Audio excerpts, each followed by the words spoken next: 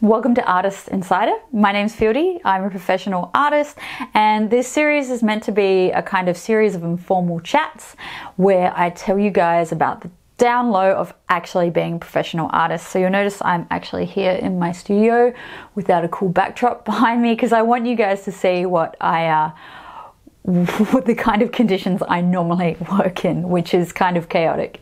Before we get started on this week's topic, which is about not getting ripped off, um, I just want to say that I do cover all of these uh, kind of concepts that I'm going to discuss in depth in my online academy. So uh, check out the link up there. It's called uh, Fieldey's Art Academy. As of right now, in uh, June 2021, um, these courses are still in production. So I've got some great business courses coming up about how to get paid, how to get deal with clients. Uh, and things like that. So that's still under production. So if you are interested, to know when they launch, then please jump on and sign up to my e-news. Uh, I'll be posting a link around somewhere for that. Uh, and the bonus with that is that you get access to my free online mini course about painting murals. So yeah, check it out. So today I'm going to be talking about how not to get ripped off by your clients. So, not every client is out to get you and is going to rip you off, but I hear of so many ultra sad stories online you know, and from other artists telling stories about creating like super awesome artwork and then sending it off to the client and then not getting paid. Avoiding being ripped off and always getting paid comes down to two very simple strategies that I'm going to share with you in a minute. But these two strategies are wrapped up in a, uh, paragraph of text that's called your payment terms. So Payment terms will generally get stated in the initial quote that you give a client, or maybe a contract if you like to do contracts. And what that does is it's going to tell the client uh, how you get paid and when you get paid. And for our purposes, it's the when bit that's super, super important. So these two strategies that are your payment term strategies are really simple. There's the deposit part of it, and then there's the final payment part of it. And if you put both of these things together, you're always gonna get paid. So, first thing you need is a deposit. So, whenever you're doing a quote up for your client or you're getting in touch with them, obviously you give them a final price for how much the project's going to cost, but then you need to also ask for a deposit. So, uh, I cover this a lot more in depth in, uh, in my online academy courses, but basically, the deposit is whatever percentage that you want to have of the final price upfront. So I would recommend 50%. That's what I myself charge. Um, and I don't do anything until that 50% deposit has been paid. So no sketches, no designs, no nothing until the client pays that money. The reasons that you deposit is super crucial is one, cash flow. So you've got some money coming into your business. You don't have to wait for you to actually, you know, finish the projects. Um, and the second is that it's kind of uh, an, an insurance measure, I guess.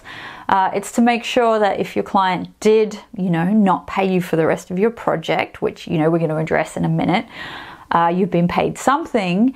And there's another reason as well, and that's kind of a barometer of your client. So I'm going to talk about red flags uh, with clients at the end of this video, but it's basically a way to form a working partnership with your client and to see if they're serious about paying you.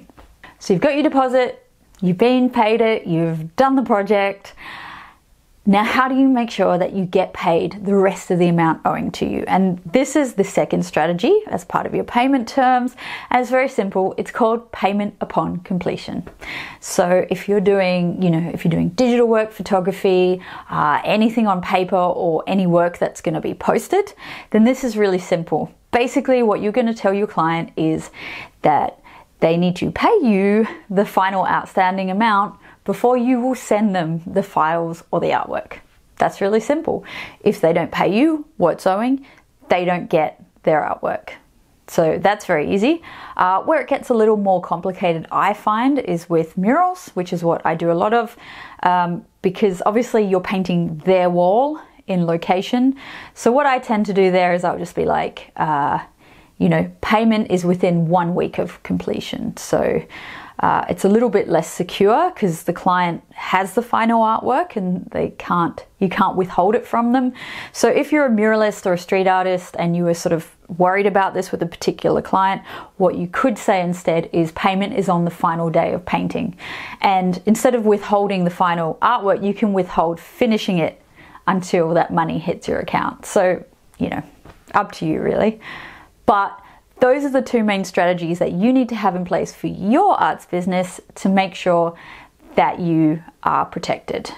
So, I mentioned some red flags before. So, when I'm talking about red flags, I'm talking about the kind of stuff that clients are going to say to you at the start. Kind of gives you a funny feeling and makes you go like, "Hmm, I wonder if this person is going to be a total nightmare to work with. So, as you kind of go along and you meet more clients and you do more projects, uh, you'll probably get more red flags added to that list. But to save you some time, here are a few of here are a few classic examples that for me will always make me go, mm, I'm not sure I really want to work with you. So the first one is flat out if your client's like, uh, I'm not going to pay your deposit like that's really bad. That client is telling you straight up, I'm not going to pay you full stop. So, your choice whether you take that one on. Uh, personally, if they don't agree to your payment terms, then they are not a good client. Number two, uh, they say, Oh, yeah, the quote's really good, but um, yeah, I don't have the money yet.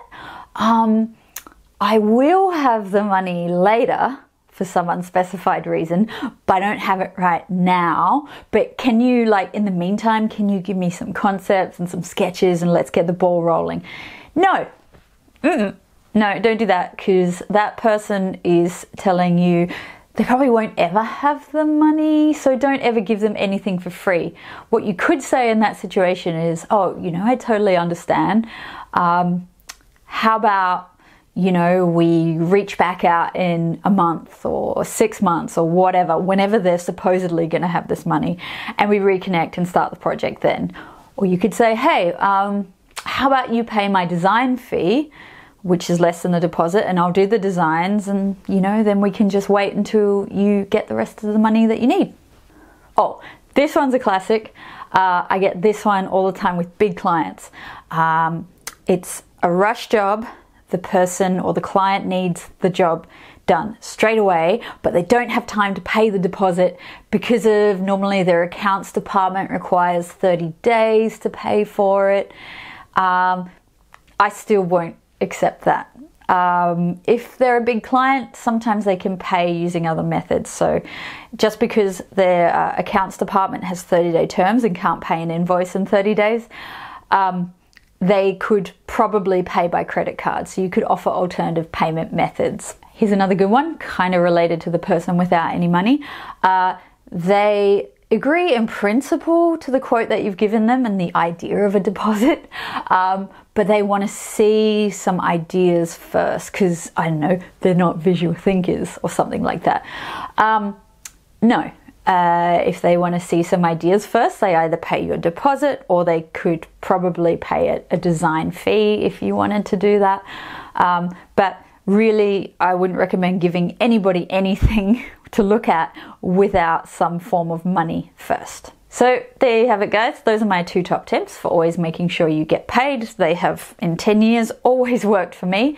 Um, but I'd love to hear from you guys if you've had any times where you haven't been paid by a client or you've had trouble getting money out of a client and, you know, what you did or how you sort of got around that. So leave a comment below. So, if you want to find out some more info about payment terms and about how to write an invoice and about kind of all this like crazy business stuff, including what to do if your client doesn't pay you, then go check out my Fieldey's Online Academy.